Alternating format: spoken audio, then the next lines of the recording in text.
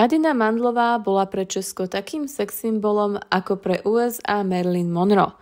Najkrajšia česká herečka všetkých čias prežila vďaka pôvabu a zmyselnosti burlivý, ale i nešťastný život.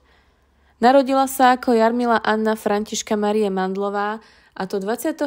januára 1910 v Mladej Boleslavi.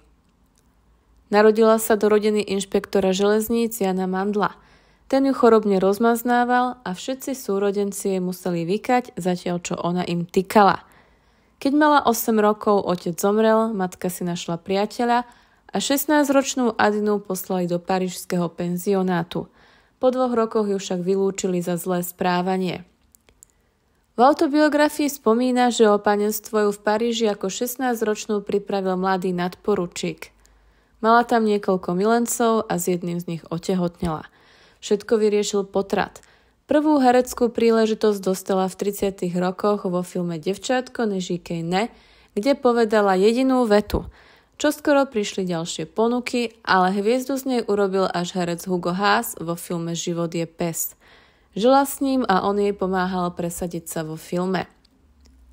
Aj keď nebola cnostná dáma, odmietla rolu vo filme Extáza, kde mala vystupovať nahá.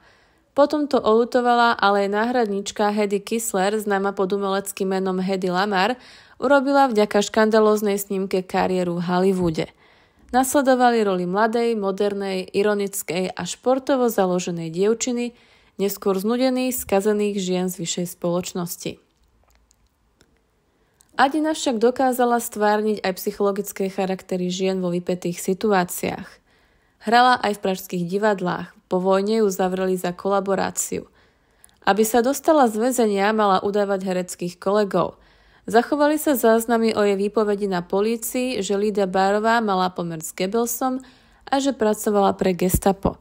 Oldřich Nový sa zase podľa nej stýkal s SS-ákmi. Nakoniec Československa utekla do Anglicka, určitý čas žila na Malte a potom v Kanade. Do vlasti sa vrátila až v roku 1991, krátko pred smrťou. Zomrela ako 81-ročná v nemocnici v Příbrami.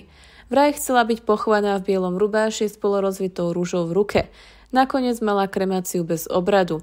Jej popol rozptýlili na lúke cintorína Blatná.